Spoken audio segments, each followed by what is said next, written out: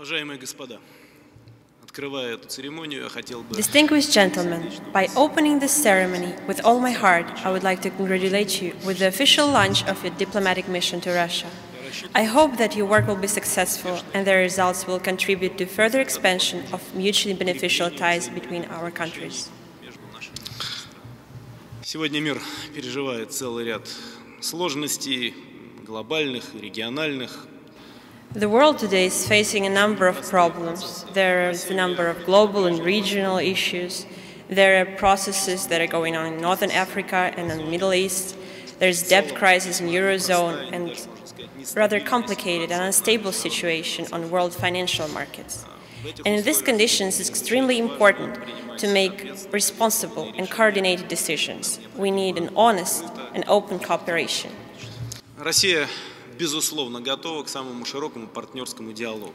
And there is no doubt that Russia is ready towards a partnership dialogue with all the countries present here and in the world in order to guarantee the international stability and security. And we intend to further implement a balanced and correct policy to take an active part in establishing a more just system of world order. Наша страна достаточно активно последние годы работает над реализацией а, очень важных интеграционных проектов. Особенно выделю в этом контексте недавнее подписание договора о зонах. And our country is actively working on a number of integrational uh, projects, such as the Treaty of Zone on Free Trade in the CIS and the Customs Union with Russia, Belarus, and Kazakhstan, and starting from 2012, a common economic zone. Отмечу также укрепление международного авторитета крупных организаций, скажем, Шанхайской And I would also организации, like to know the strengthening of the international authority and influence of such organizations as SCO and more serious role in the stabilization of global economy of such groups as BRICS. мы неизменно And traditionally, we devote a large portion of attention to our dialogue with the European Union. в ближайшее время And in the nearest future, we will have a next Russian European summit. And I have no doubts that uh, with goodwill, it will contribute to universal development of multifaceted relations that we have with the European Union. Э, И, кстати, наглядным примером такого рода договоренностей даже в самых сложных международных And one of the условиях examples of successes in this field can be um, a completion of a very complicated process of Russia acceding to WTO. And we're glad that we have come to a positive result. Хотел бы также выразить надежду на то, что в конечном итоге And I would also like to express hope that finally we will be able to overcome all the difficulties that you are very well aware of that we have in our relations with NATO. And we will be able to continue our cooperation with the alliance in the spirit of understanding for the benefit of global stability and security. And I'm sure that the countries that you represent are interested in building these particular relations equal mutually beneficial, and respectful. And now, a few words about the countries that you represent. We highly appreciate the half century relations that we have and friendship and cooperation of Russia and Guinea. And we intend to multiply these traditions and increase the potential of our bilateral ties. The Republic of Costa Rica has become the first state of Central America that has established ties with Russia. And next year, we will celebrate 140th anniversary of our relations. And we hope that their level will increase, and first of all, in the spheres of trade, culture, and education.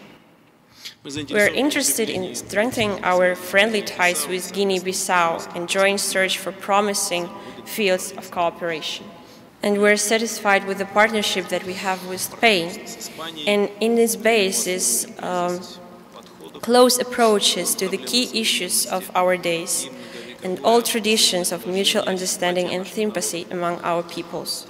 An aspiration of the citizens of Russia and Spain for closer contacts have been demonstrated in the twin years. A large-scale project, the official closing ceremony, took place the day before yesterday in Madrid. The Grand Principality of Luxembourg is one of our promising financial and investment partners in Western Europe and it's our, in our common interest to efficiently use this potential in trade, economic, scientific, technical, and other fields.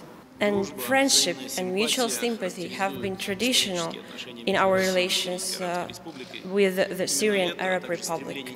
This and also the, aspira the aspiration to prevent the erosion of basic rules of international law and the principle of interstate relations define our approaches and assessments of those hardships that have fallen upon the lot of the Syrian people. It's important for the Syrian people to overcome these hardships by themselves without any interference from outside, to stabilize the situation in the country, to stop the violence, and to establish an efficient national dialogue, and also to have all the reforms. And a recent visit to the Russian Federation of the President of Lao People's Democratic Republic have given an additional impetus to our bilateral cooperation. We have reached important agreements in the field of trade, economic and humanitarian science. We have very good and constructive relations with the Kingdom of Bahrain, and this is a good base for coming to the specific results in the field of oil and gas investment and banking sphere. And I hope that opening an embassy of Djibouti in Moscow will help to expand our ties, including in the field of strengthening the peace and stability in the northwest of Africa. We value our cooperation with Iceland, which has been developing rather dynamically and which expands new spheres, including the sphere of innovation. And we will multiply this experience that we have gained, including the cooperation in the Arctic region. And we, I have very warm memories about my visit to Angola in 2009 and negotiations that I had with President José Eduardo dos Santos. And I hope that joint work on the implementation of the agreements that we have reached will allow us to provide the high dynamics of our bilateral cooperation. Uh, I would like to emphasize the high level of cooperation with the Republic of Colombia, one of our important partners in Latin America. We hope to further contribute to increase, of our, to increase our cooperation, and first of all in the field of energy, automobile construction, and others. During the recent years, uh, there have been a raise in the relations between Russia and Tunisian Republic, and we have been able to come to serious results. And I'm sure that we have all the possibilities to use this positive experience to open a ways to new promising joint projects on a new stage of democratic development of Tunisia. Our cooperation with the United Kingdom is one of the important factors of strengthening stability and security in Europe. And I hope that, and I'm sure that we will go on with this cooperation, uh, including on the implementation of an important program, Partnership for Modernization, that has been prepared and signed. This issue became one of the key questions that we have discussed during the recent year visit to Russia of Prime Minister David Cameron. And we confirm our readiness to solve all the issues in the spirit of constructive cooperation.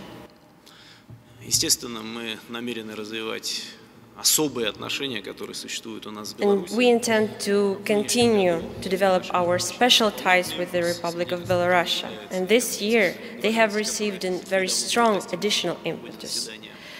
It can be seen in the number of key agreements that were reached during the Supreme State Council of the Union State.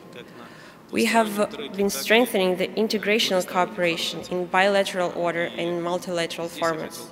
And here I would like to emphasize the significantly new advanced level of co our cooperation. I mean the establishment of a common economic space. Уважаемые господа, я рассчитываю на то, что ваш Distinguished gentlemen, I am sure that your diplomatic experience will help you to uphold and to multiply the traditions of friendship and partnership that you have established with the Russian Federation. And sincerely, I would like to wish you success and good luck, and thank you for your attention.